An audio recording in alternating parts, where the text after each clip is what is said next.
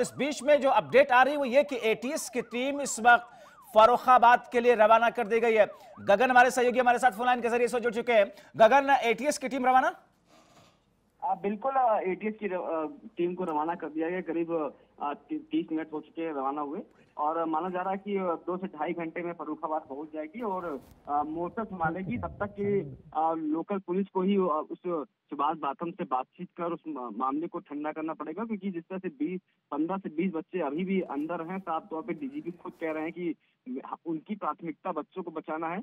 और लगातार सुभाष बाथम अंदर से फायरिंग कर रहा है, धमकी दे रहा है कि उसके पास करीब तीस पैंतीस किलो का बारूद है, उससे पूरे घर को उड़ा देगा। तो यानी कि यूपी पुलिस फ़िलहाल चाहती है किसी तरह सुभाष बाथम से बातचीत की जाए, बातचीत कर अभी उसको शांत रखे जाए। जब तक एटीएस की टीम नहीं आ जाती है, तब तक आप वहाँ पर बातचीत का दौर चालू रहेगा और स्थानीय विधायक भी वहाँ पे मौके पर मौजूद हैं, जो उसकी समस्या है, उस पर बात की जा रही है। किसी तरह बात में उलझाया जा रहा है। लगातार आसपास के जिलों की पुलिस वहाँ पर तैनात है।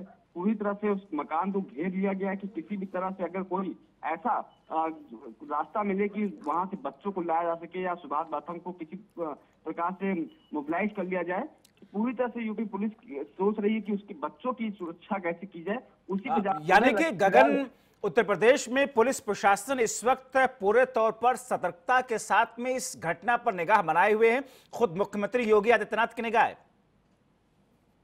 देखिए, बिल्कुल सीएम ऑफ़िस से लगातार फरुखाबाद नज़र रखी जा रही है। लगातार डीजीपी ओपी सिंह से सीएम योगी आदित्यनाथ खुद पूरे मामले की अपडेट ले रहे हैं।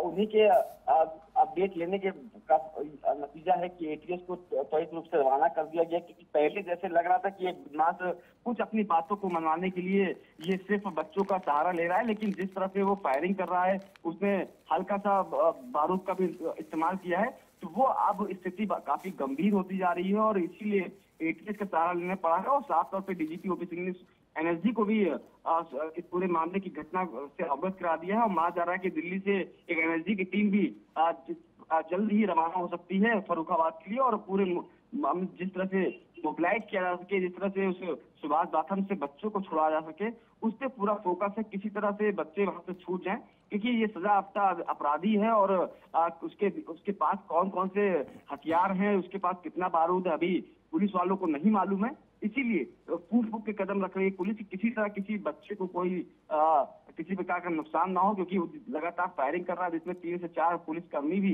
घायल हुए हैं तो बातचीत कर रहे हैं बातचीत गगन ज़ाहिर तौर पर ऐसे केसेस में पुलिस को बड़े ही एहतियात के साथ में बड़ी सतर्कता के साथ में अपने मिशन को आगे बढ़ाना होता है।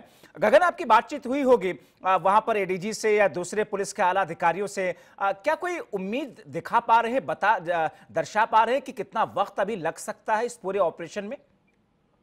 अब देखिए, फ़िलहाल अधिकारियों को साफ़ तौर पर यही कहना है कि जिस तरह से लोकल पुलिस काफ़ी कोशिश कर रही है कि किसी तरह उसको समझाया जा सके, कि लेकिन वो समझने को तैयार नहीं है। क्योंकि कुछ लोगों के द्वारा ये कहा जा रहा है कि वो सिरपरा है। अगर सिरपरा है, तब तो स्थिति और काफ़ी गंभीर है उन अधिकारियों के लिए। जैसे उनसे बातचीत हुई, वो लगातार कह रहे हैं कि अगर सिरपरा है तो और भी समस्या हो सकती है कि कहीं बच्चे को नुकसान कर दिया।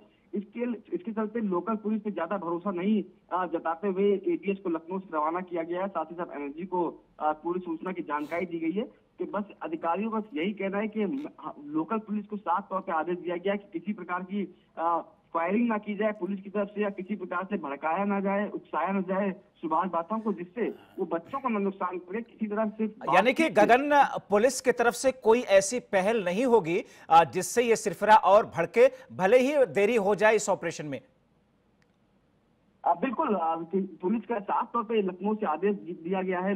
वहाँ की पुलिस को फरुखाबाद की पुलिस को किसी प्रकार से कोई भी फायरिंग ना की जाए। किसी प्रकार के ऐसा कोई कृत्य ना किया जाए कि सुभाष बाथम जो अंदर बच्चों को बंधक बनाए हैं वो भड़के या उससे सिर्फ़ बातचीत से बात की जाए। अब ये है कि कुछ बातें पुलिस लोकल की बातें उनको समझ नहीं आई जिससे उसने फायरिंग कर दी उसने बारूद का भी इस्तेमाल किया। तो इसीलिए आदेश दिया गया है अधिकारियों द्वारा।